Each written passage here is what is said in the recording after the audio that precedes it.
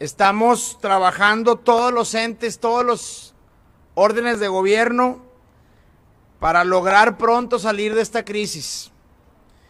Vienen calores complicados, hoy se espera 45 grados bajo el sol y por eso es muy importante que todo el gobierno, todas las secretarías, todas las paraestatales y de manera muy respetuosa a todos los alcaldes y poderes que cerremos filas para ayudar en esta crisis hídrica.